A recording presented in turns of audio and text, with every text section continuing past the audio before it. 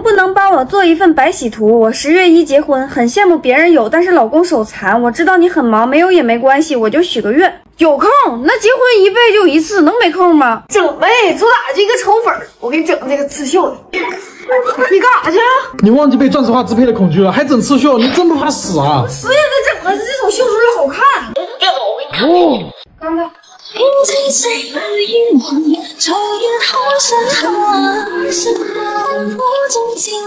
给你看。哦，刚刚。我妹，怪谁啊？总动员机上下去啊？你啥意思啊？字面意思。闭嘴，拍拍。开始绣白喜图。你这么一看，有点绣娘的气质啊。是我张天琪干一行像一行。经过一番内行的缝绣，一个字绣好了，你瞅瞅好看不？你第一个字用了二十六分钟，你一百个字不得两千六百分钟？谁道呢？有大线有小线的。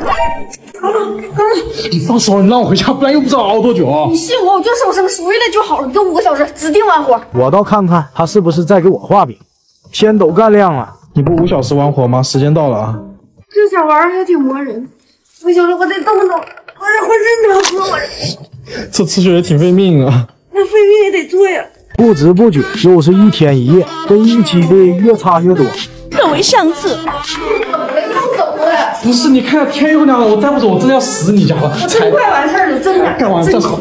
真快，走走走。又被迫上岗了，还得继续陪着张天琪继续熬，又从天亮干到天黑了。还有最后一个。以后再也不会你们这么手工。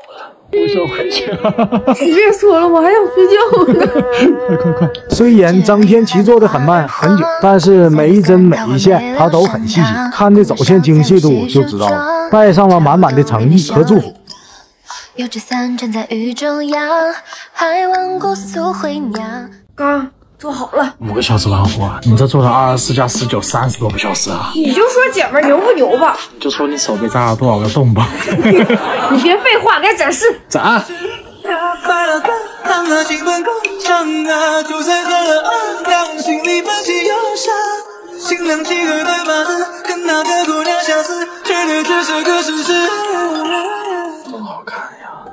啊，起走吧。